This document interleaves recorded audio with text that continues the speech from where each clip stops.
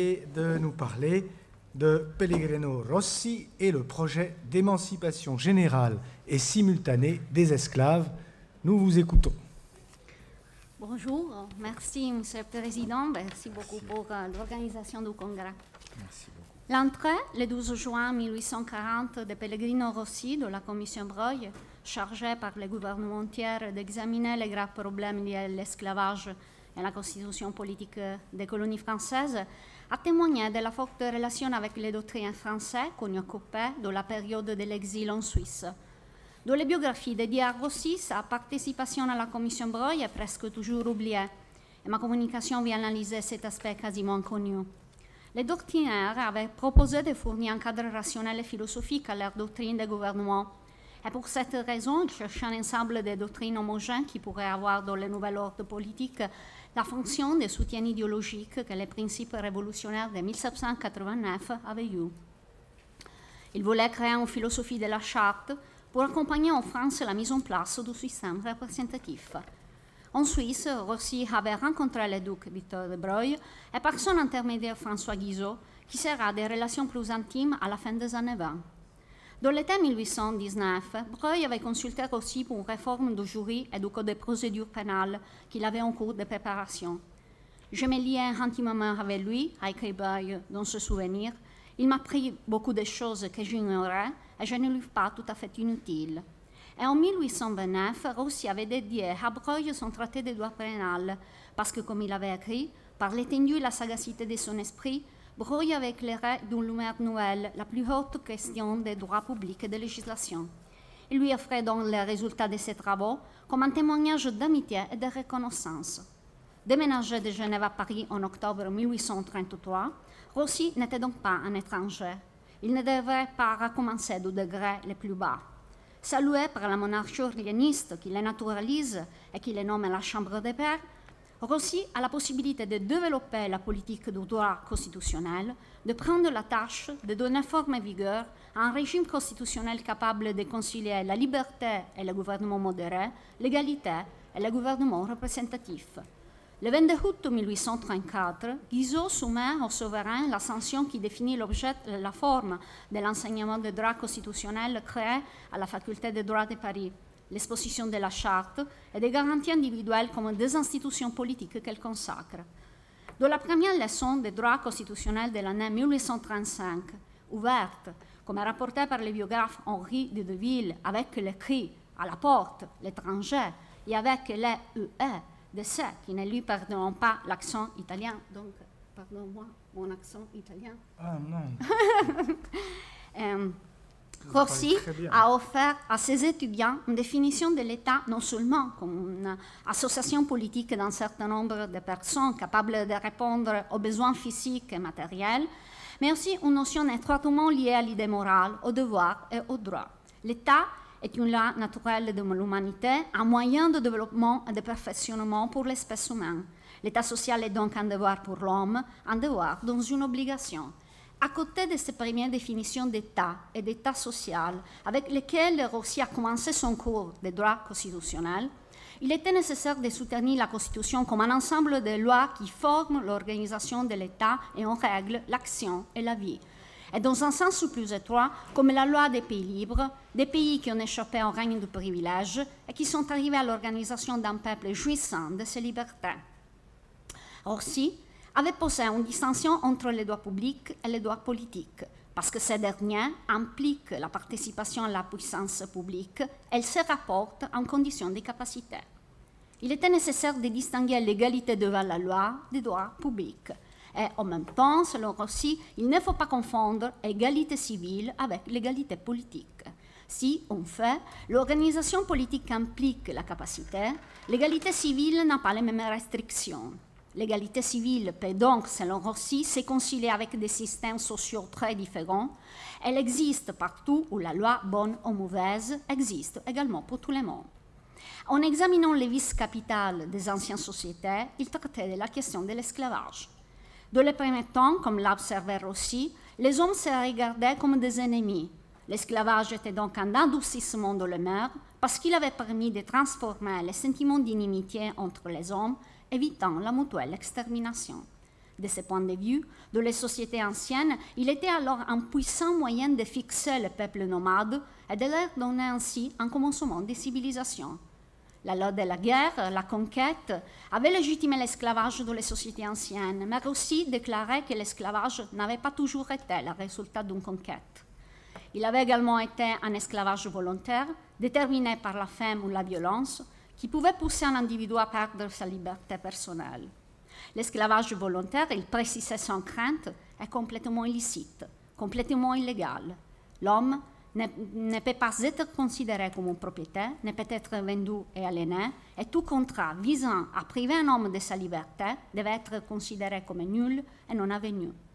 Si l'égalité civile consiste à accorder à tous le libre exercice, l'exercice légitime de leurs facultés, la jouissance des résultats obtenus, quelle que soit d'ailleurs la diversité des forces et de l'énergie de chacun, les mots égalisés exprimaient par contre le classement arbitraire de différentes activités individuelles.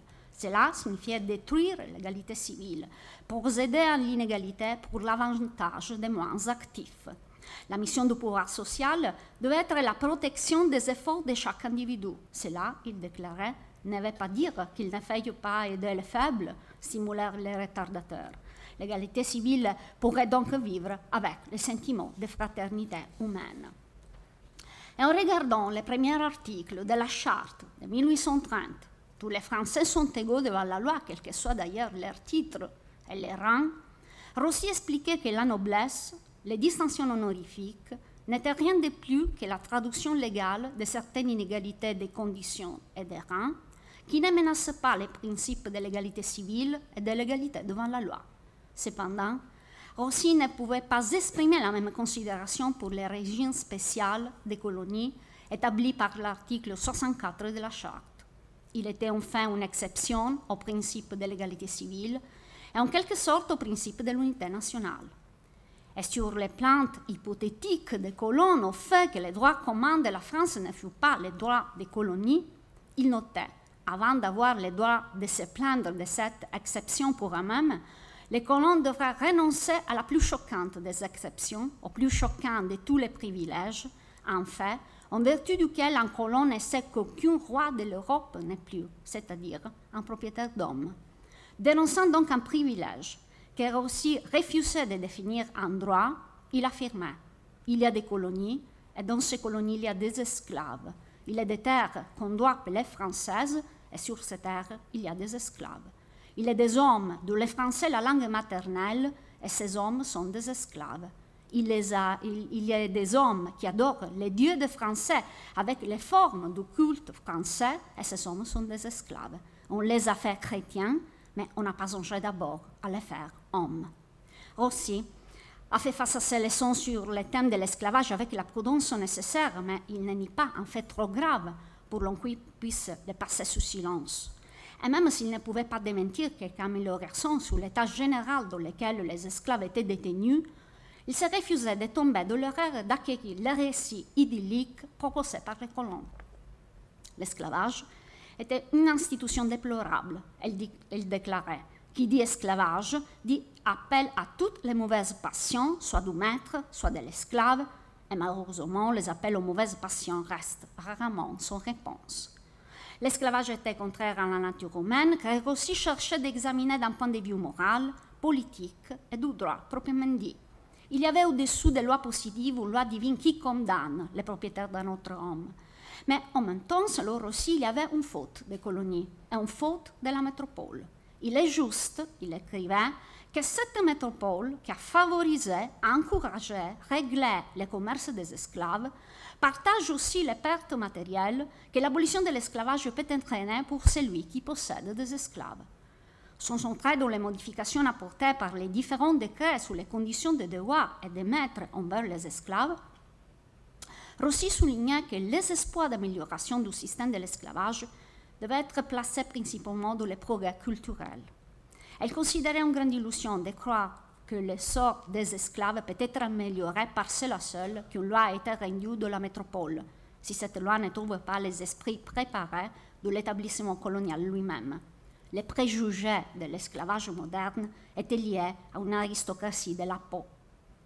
Les références récurrentes à l'esclavage, son explicite condamne à la traite des Noirs, à l'état déplorable des esclaves, en témoigne la participation des Rossi dans un qui en France cependant est resté principalement élitiste, parce qu'il était conduit par des ministres, administrateurs coloniaux, hommes de lettres, qui ont agi sans le complet soutien des masses, un soutien présent cependant dans les cas anglais et témoigné par la présentation des milliers de pétitions, outils indispensables pour influencer la politique et intervenir dans la vie politique elle-même.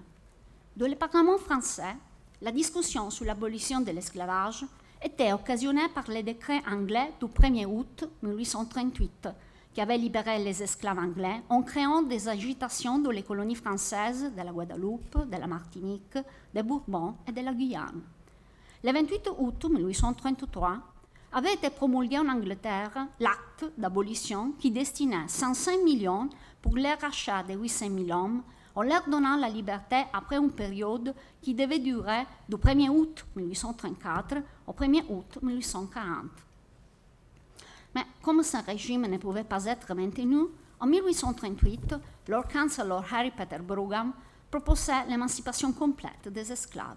Devant la résolution anglaise, le ministre de la Marine des colonies Rossin, le 26 mai 1840, avait informé le roi Louis-Philippe que la nécessité d'examiner les questions graves liées à l'esclavage et à la constitution politique des colonies avait appelé à la création d'un comité consultatif, choisi parmi les membres des grands corps de l'État.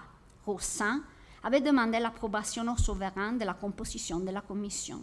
Parmi les pères de France, était le duc de Broglie, qui la présidait, le comte de Saint-Cric et le marquis d'Audifray. À la Chambre des députés, cependant, appartenaient les comtes Xavier de Sade, Jacques-Henri Fustenberg, Alexandre Destou de Tracy, Hippolyte Passy, Alexis de Tocqueville et François Bignon. Ils ont été rejoints par le vice-amiral Macot, l'amiral Comte de Moges, le conseiller d'État et directeur des colonies Philo de Saint-Hilaire. Le 12 juin 1840, par décision du roi, le père de France, l'honorable Pellegrino Rossi, comme il est toujours nommé dans le rapport final, et le député André Élisée Reynard ont rejoint la commission.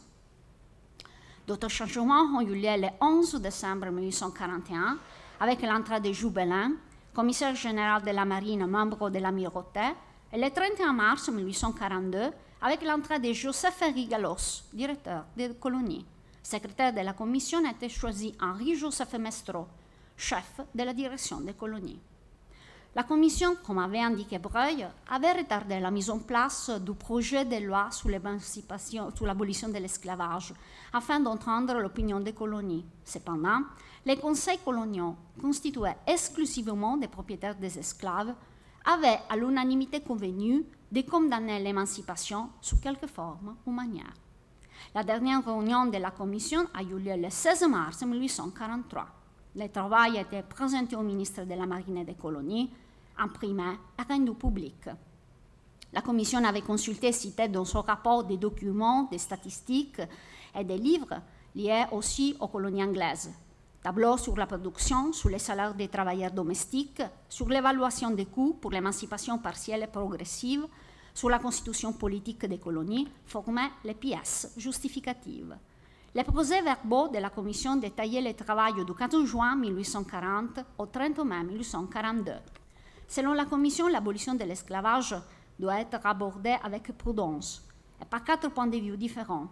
En ce qui concerne le maintien de l'ordre public, par rapport à l'intérêt réel des esclaves, en relation avec les intérêts des colons, en ce qui concerne l'entretien du système colonial. Il s'agissait d'intérêts différents, mais non opposés et donc non inconciliables. Les esclaves privés de leurs droits civils, de la participation à l'existence sociale, vivaient relégués de la propriété du maître. Il leur était interdit de sortir sans la permission du propriétaire. Les complexes de logement à l'intérieur de la propriété du maître formaient une sorte de société à part, au sein de laquelle tout le nécessaire été produit, construit, fabriqué. Elle était une société réglée par des lois spéciales, de la justice administrée à certains degrés. Un petit État avec son culte privé, sa prison pour les délinquants, son asile pour les enfants, son infirmerie, son hospice pour les personnes âgées et handicapées. L'abolition de l'esclavage, par conséquent, aurait abouti à l'abolition de ces petits États en éliminant l'éclatement de la souveraineté publique. Dans un système d'émancipation simultanée, les affranchis seraient devenus libres en un moment. Dans un système d'émancipation progressive dans lequel les affranchis arrivent à la liberté individuellement, il aurait une discrimination entre les esclaves plus laborieux ou moins actifs. Il s'agissait d'une objection que la Commission appelait grave et d'un réel péril. À la lumière de cette analyse, la majorité de la Commission, Breuil, Passier, Rossier, Tracier, Sade, Bignon, Tocqueville, Renard et Galos, s'exprimait pour l'émancipation simultanée, précédée par un régime préparatoire mais une minorité de ses membres, les Perrault Dufray, le vice-amiral Macot, le député Fustenberg, le commissaire général de la marine Joubelin et le directeur des colonies Saint-Hilaire, avaient voté en faveur du système de l'émancipation progressive. Selon la minorité de la Commission, les projets proposés par la majorité avaient l'inconvénient de ne pas donner au gouvernement le droit de faire tout le nécessaire pour préparer les Noirs à la liberté elle ne permettait pas aux esclaves d'utiliser les salaires et d'être éduqués à l'utilisation des fruits de leur travail. Les premiers projets de loi sur l'émancipation générale et simultanée, soutenus par Pellegrino Rossi, étaient divisés en trois titres. L'abolition de l'esclavage par un régime intermédiaire, l'affranchissement après l'émancipation, l'indemnité. Au début, Rossi avait proposé un système d'émancipation générale sans régime intermédiaire. Ce système n'offrirait réellement, selon Rossi, qu'une difficulté grave, c'est-à-dire les paiements immédiats d'une indemnité suffisante pour les colons. Il s'agissait d'un obstacle presque insurmontable et sa proposition ne fut pas disputée. La durée de la période préparatoire fut l'objet de nombreuses discussions entre les membres de la commission, Tocqueville en particulier, exprimait sa préférence pour l'abolition de l'esclavage de les plus bas délais au nom de la sécurité et de la menace de guerre maritime. En cas d'une guerre maritime, comme rapporté par les conseils coloniaux, les garnisons coloniales devraient lutter contre les ennemis en dehors et à l'intérieur. Le maintien des colonies, selon Tocqueville, avait servi à la France non seulement pour la production et la consommation des produits nationaux, mais aussi pour la puissance militaire et navale dans les points stratégiques de la Terre. Par conséquent, l'extension du status quo aurait exacerbé les dangers et les risques en cas d'attaque ennemie. Aussi, partageait la réflexion de Tocqueville, disant que les colonies auraient été sérieusement en danger si une guerre maritime avait éclaté avant la libération des esclaves. Il était sage de chercher une solution qui prendrait en compte les deux éléments de l'indemnité, le temps et l'argent. La Commission avait deux alternatives. La première, commandée par Sade, proposait une prolongation de 9 ans, 3 ans à compter de 1842 jusqu'en janvier 1845, période probable de la promulgation de la loi, et encore 6 ans qui prendront fin le 1er janvier 1851 avec l'émancipation. La deuxième proposition avait été exprimée par Pellegrino Rossi, qui avait suggéré une période de 10 ans à compter du 1er janvier 1843 pour arriver à l'émancipation le 1er janvier 1853. Selon Rossi, il aurait un danger à fixer un délai qui partirait de la publication de la loi.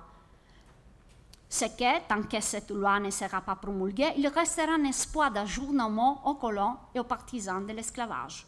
Dans le rapport final, Breuil avait expliqué les raisons qui avait motivé sa commission d'indiquer une date précise. Les dates saisissent plus vivement l'esprit que les périphrases. Si l'on veut que les Noirs soient tranquilles, les colons résignés, le gouvernement actif, vigilant, résolu, il était nécessaire de parler clairement, dissipant l'ombre même de l'incertitude. La proposition de Sade avait reçu en plus du vote de son promoteur, ceux de Tracy, Passy et de Tocqueville.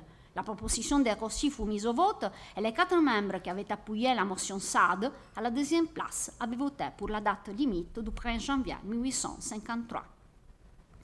Dans la période du régime intermédiaire, il était nécessaire de montrer au noir la liberté en perspective, mais aussi la distance.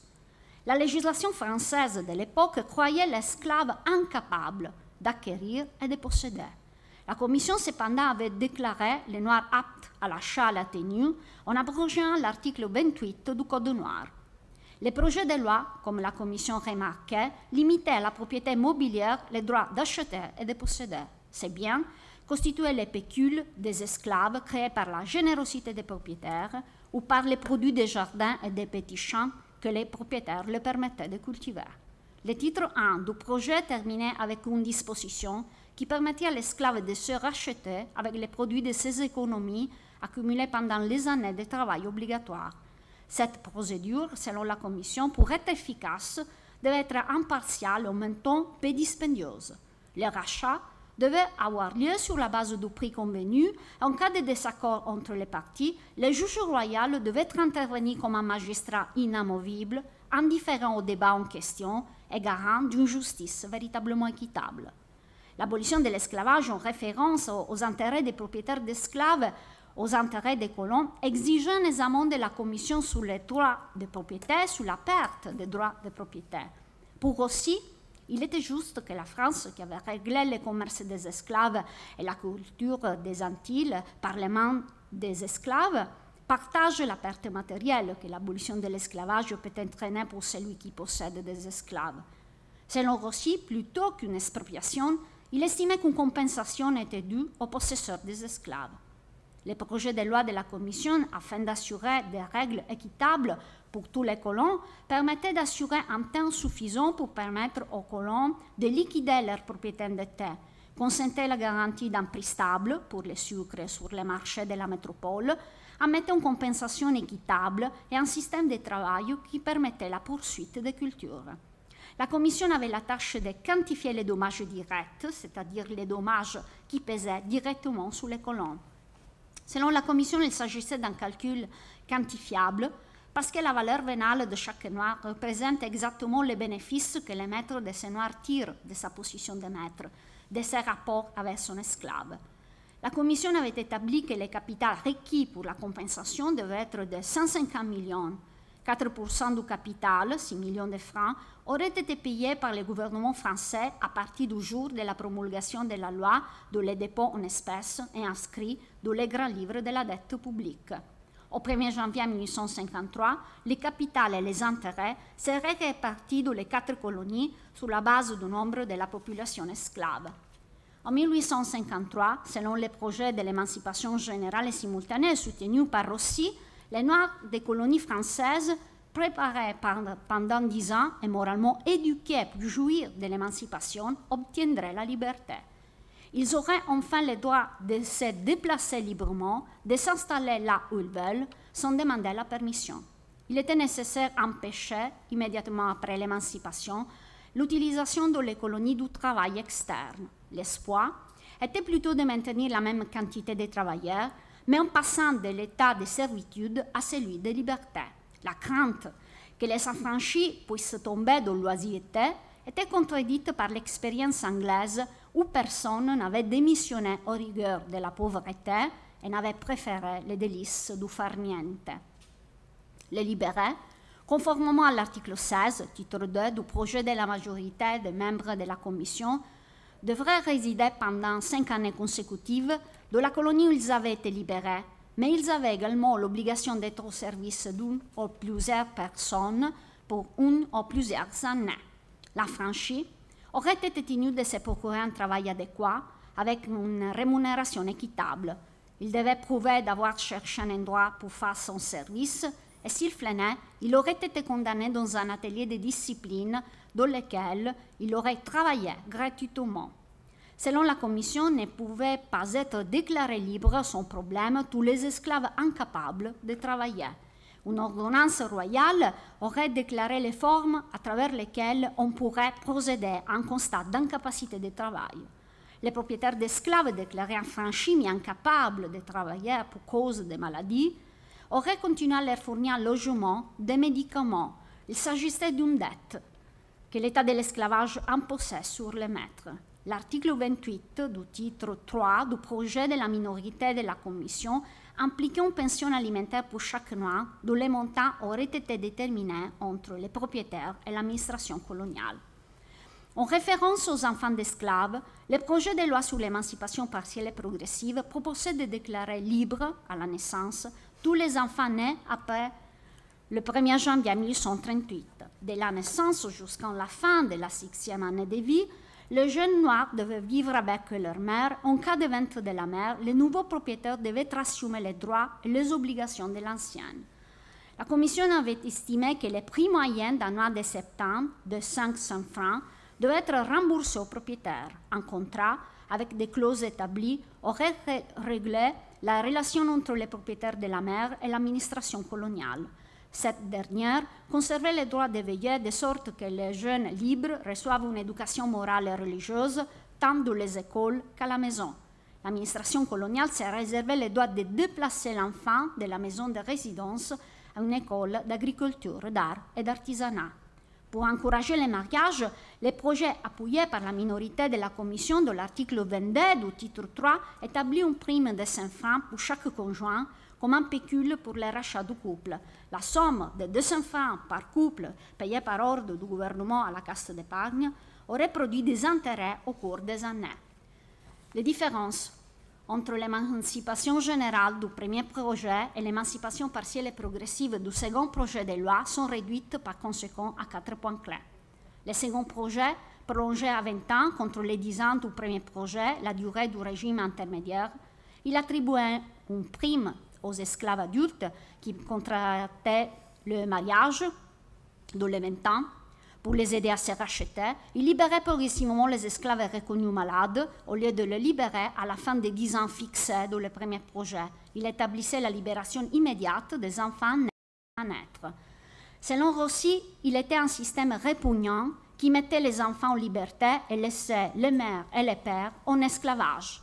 Un système qui bouleversait la famille en attribuant la supériorité à ceux qui, au contraire, devaient respect et obéissance. En fait, les projets présentés avaient établi qu'à la majorité de l'enfant, la mère, dans le cas d'un mariage légitime, le père, serait libéré par l'indemnité qui serait régie par un accord mutuel entre l'administration coloniale et les propriétaires.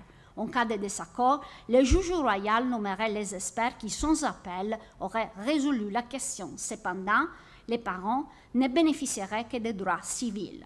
Sur les 41 articles qui composaient le projet d'émancipation partielle et progressive, 23 ont été récupérés à partir du premier projet plus cher, soutenu par la majorité des membres de la Commission.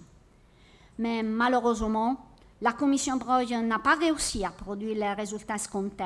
Son rapport, miné par des lobbies coloniaux, fut utilisé par le gouvernement seulement pour quelques adaptations au régime colonial qui a donné comme résultat la loi proposée par Mako, la loi que les colons même jugèrent contestable dans ses principes, mais inoffensive dans les faits.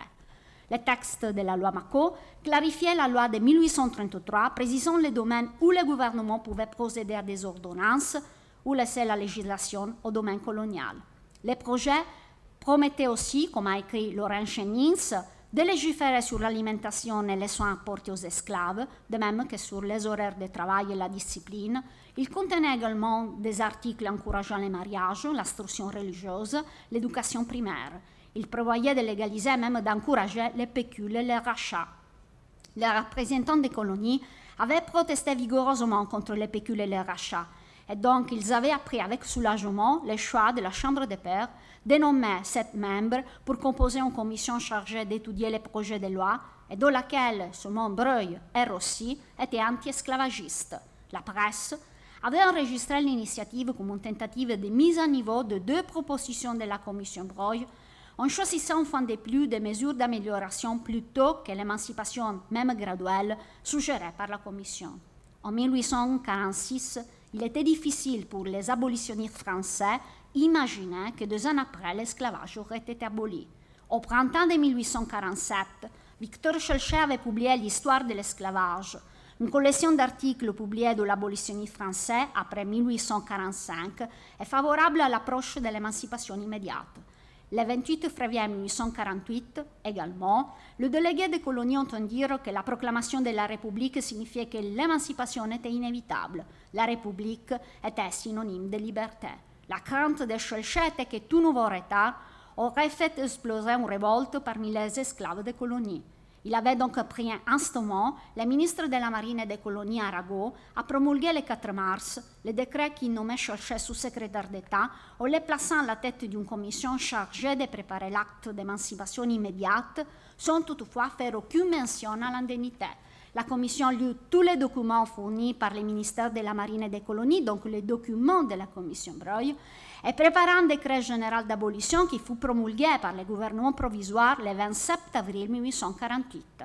Il établissait la libération des esclaves deux mois après la promulgation de les colonies, interdisait les citoyens français résidant partout dans le monde à posséder des esclaves, donnait aux colonies, comme déjà suggéré par la Commission Breuil, une représentation directe à l'Assemblée nationale à la place des délégués, comme a déjà dit Eric Anso dans sa communication.